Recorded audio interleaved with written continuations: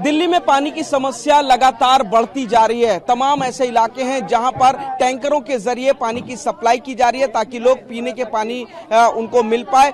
दिल्ली के चाणक्यपुरी के संजय कैंप का हाल यही है। हर रोज सुबह होते के साथ ही लोग लंबी लाइन में रखते हैं, अपने घरों से इस तरीके से डिब्बे लेकर के आते हैं और यहाँ पर फ़िलहाल एक बोरवेल लगाया गया है, जिसके ज़रिए आप देखेंगे कि सुबह सुबह यहाँ पर लोग पानी भरने के लिए आते हैं। यहाँ पर टैंकर के ज़रिए भी पानी की सप्लाई की जाती है। फ़िलहाल आज यहाँ पर पानी का टैंकर नहीं आ रहा है, जिस वजह से ये लोग इस तरीके से पानी भरने के लिए परेशान हैं। कई लोग, आप देखेंगे कि पानी भरने को लेकर के लोगों के बीच में बहस भी होती है। फ़िलहाल सुप्रीम कोर्ट पूरे मामले का संज्ञान ले रहा है, पानी को लेकर के सुप्रीम कोर्ट में सुनवाई चल रही है।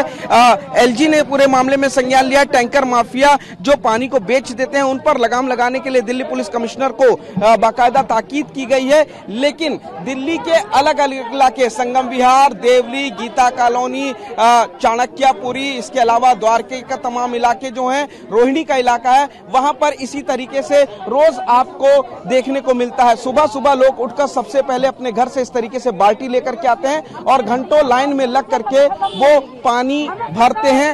लोग परेशान हैं, लोगों को पीने का पानी नहीं मिल पा रहा जैसे जैसे गर्मी बढ़ती जा रही है वैसे वैसे पानी की समस्या भी बढ़ती जा रही है। दिल्ली सरकार का आरोप है कि हरियाणा जो है वो मुनक नहर में पर्याप्त पानी नहीं छोड़ रहा एक हज़ार पचास क्यूसेक पानी छोड़ा जाना चाहिए, लेकिन वो कम पानी छोड़ रहा है, जिस वजह से दिल्ली में जो वाटर ट्रीटमेंट प्लांट है सात, उसमें भी पानी की कमी हो रही है और यही वजह है कि दिल्ली में फ़िलहाल पानी की आपूर्ति में दिक्कतें आ रही हैं। दिल्ली की जनता को एक हज़ार पानी चाहिए होता है, जिससे एक हज़ार पानी की जो जो प्रोडक्शन किया जाता है, उससे दिल्ली की जनता को पानी पहुँचाया जाता है, वही पूर्ति करता है। लेकिन फ़िलहाल जिस तरीके से मुनक नहर में पानी कम आ रहा है, टैंकरों से पानी चोरी है तो ऐसे में एक हज़ार से कम पानी का प्रोडक्शन हो रहा है और यही वजह है कि दिल्ली में इस वक्त एक एक बूंद पानी के लिए ठीक इसी तरीके का हाहाकार मचा हुआ है। लोग इसी तरीके से लाइन में लग रहे हैं, इसी तरीके से आप देखेंगे कि सबसे पहला काम सुबह उठ करके जो लोगों का होता है,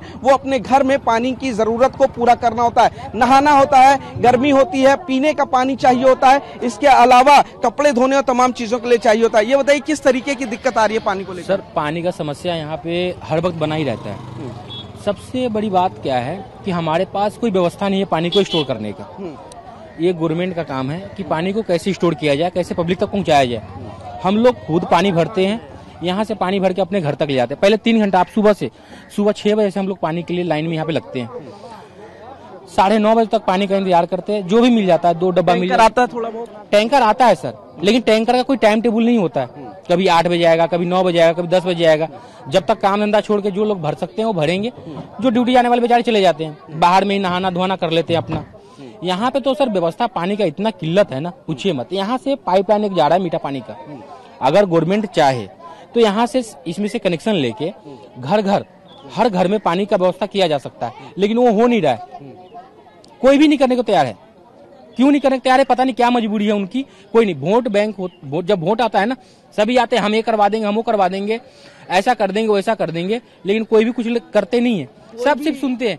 देखिए ये सबसे बड़ी बात एक और बताते हैं अभी इतनी गर्मी के मौसम में आग लग रही है। कोई भी कोई भी सरकार इस बात को नहीं सुनता। और यही वजह है कि देखिए बूंद बूंद के लिए जो यहाँ पर जो दिल्ली है, वो प्यासी हो रखी है, वो तरस रही है कि एक बूंद पानी के लिए तमाम जो बुज़ुर्ग महिलाएँ, बच्चे हैं, वो अपने घरों से छोटे छोटे जो बर्तन हैं, उन लोगों को ला करके लगे हैं। पुरुष अपने कामों को घंटों छोड़ने के बाद इस तरीके से यहाँ पर खड़े हुए हैं और कई घंटे इसी तरीके से रोज़ाना की मशक्कत के बाद उनको थोड़ा सा पानी जो है वो मिल पाता है और इस तरीके से उन लोगों को अपने दिन का एक 24 घंटे जो अपनी ज़िंदगी का बेहद अहम हिस्सा होता है, वो सिर्फ़ पानी की जद्दोजहद के लिए उन लोगों को गुजारना पड़ता है। फ़िलहाल उम्मीद सरकार से कर रहे हैं कि इनकी प्यास बुझाए, लेकिन एक एक बूंद के लिए, दिल्ली में पानी के लिए लड़ाई हो रहे हैं, झगड़े हो रहे हैं। लोग लंबी लाइन में घंटों इंतज़ार कर रहे हैं टैंकर का, और उसके बाद वो उनको पानी अपने ज़रूरत के हिसाब से हासिल नहीं हो पा रहा है।